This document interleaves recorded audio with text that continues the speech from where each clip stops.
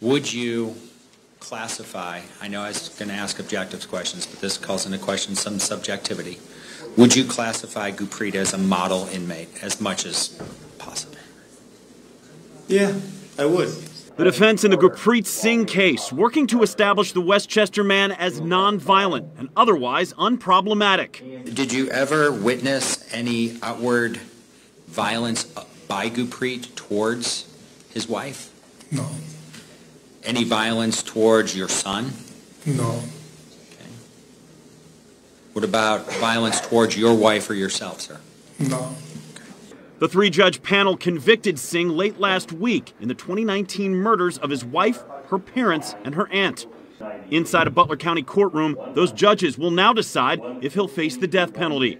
Prosecutors argue those crimes deserve the maximum punishment possible. Uh, At the conclusion of this case, when the decision is rendered by this panel, after engaging in that weighing process of the aggravated factor of, pur- of purposely killing two or more people against the mitigation offered by this defendant, the state believes that the appropriate verdict would be the imposition of the death, death penalty for each victim. Now, this is Gurpreet Singh's second trial after a jury failed to reach a verdict two years ago.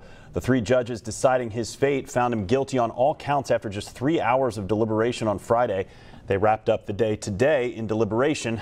Things will resume tomorrow morning at 9.